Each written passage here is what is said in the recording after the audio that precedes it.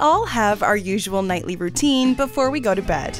Most people enjoy this ritual of self care before catching 40 winks, which may include brushing your teeth, flossing, brushing your hair, and yes, washing your face. Everyone's skin is different, and there are so many products out there that claim all sorts of different benefits. Recently, baking soda has been in the limelight for its versatility. In fact, we have another video about baking soda called 8 Benefits of Baking Soda that you can check out later. What we want to know today is, can you use this wonder powder to wash your face? Before we answer this question, why don't you hit subscribe and click the notification bell too, so you never miss any of our daily videos. Help support Bestie too by watching this video until the end. There are many facial cleansing products out there that might have baking soda in them, or claim to hold the benefits of baking soda so it's understandable why someone would think that baking soda can be used to wash your face. You can use baking soda for all kinds of things, like whitening your teeth and even helping with heartburn. But when it comes to your face, it's a bit more complicated. There's a lot of information out there about baking soda working wonders if you have acne prone skin or oily skin. If you Google it right now, you'll probably find a million and one recipes for homemade baking soda wash that can clear up your zits. However, the FDA has not approved the use of baking soda on your skin to treat acne, so there's that. While there hasn't been that many studies we could find on the effects of baking soda as a face wash, the general consensus from medical professionals is that baking soda will probably do more harm than good. If you're really struggling with your acne and really want to try baking soda, we advise that you do a spot test. Try it out on a small part of your skin and see if you have any reaction, like a rash. You don't want to put something all over your face if you don't know what it's going to do to your face, right? There's also a few other reasons why you should probably avoid the use of baking soda on your face, and we're to talk about them right now. Your skin is kind of complicated. Without getting too deep into the chemistry of it all, basically, baking soda disrupts the natural oils and acidity of your skin because baking soda is a basic.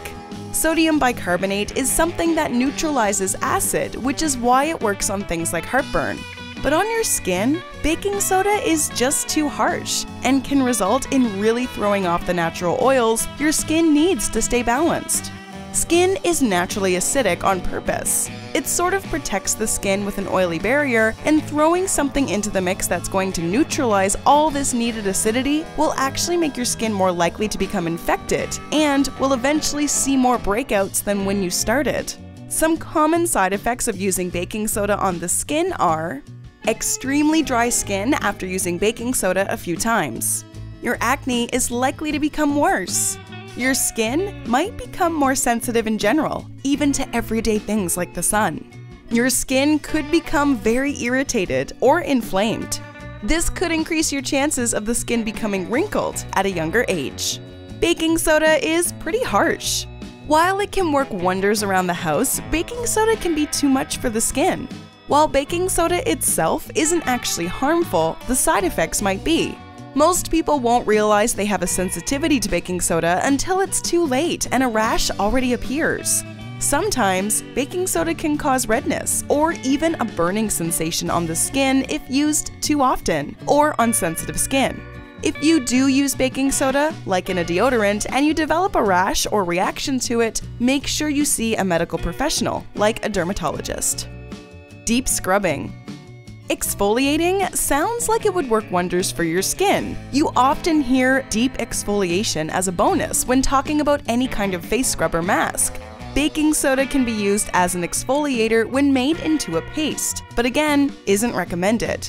While exfoliation does help out your skin tone and can be very nice once in a while, you should really space it out when you exfoliate in order to give your skin time to replenish some of those necessary oils and acidity to reform that protective barrier we talked about earlier. There are many remedies for acne treatment that talk about mixing baking soda with things like lemon juice or coconut oil. But keep in mind, baking soda is still very basic, even when added to these other mixtures. And if you're going to venture into the unknown, always do a spot test before applying the mixture to your entire face. Remember, every skin type is different, and it may take time to find a cleanser that works for you. This goes double with those for very sensitive skin or those who are prone to acne. Here are a few tips when it comes to washing your face.